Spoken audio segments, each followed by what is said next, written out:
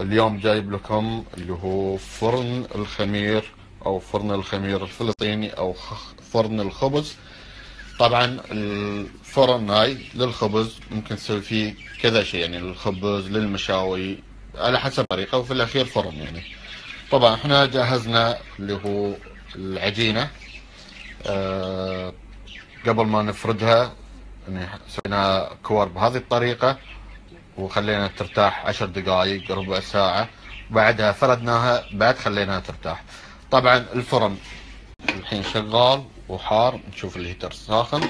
طبعا الفرن موجود عندي تقريبا من ثمان سنين. طبعا أول شيء نحط العجينة فوق. طبعا العجينة فوق ما يبي لها وقت تقريبا عشر ثواني. من بعدها نحط العجينة هذا بعد ما حطيناه تقريبا عشر ثواني. نتأكد إنه من تحت تقريبا استوى. حتى العجينة ما تنزل علينا. ننزل العجينة تحت. هذه الطريقة. وبعدين نحط العجينة الثانية فوق.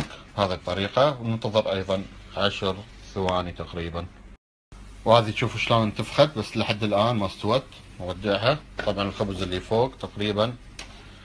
نشوف نشيك عليها. تقريبا خلاص.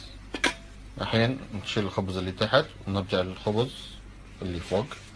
بهذه الطريقة. هذه خبزنا. ما شاء الله. الحين نحط الخبز الثاني. بهذه الطريقة. نحمرها أكثر شوية. وهذا الحين نشوف الخبزة الثانية.